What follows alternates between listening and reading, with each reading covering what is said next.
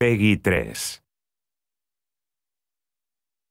He weighs 643 pounds. He destroys everything in his path. And this bad guy is ready for a change. He's Wreck-It Ralph. Gonna wreck it! And with the help of Fix-It Felix, I can fix it! he's saving the arcade universe. One level at a time. If you want to win it, you've got to wreck it. I'm gonna wreck it! Wreck-It Ralph, the video game.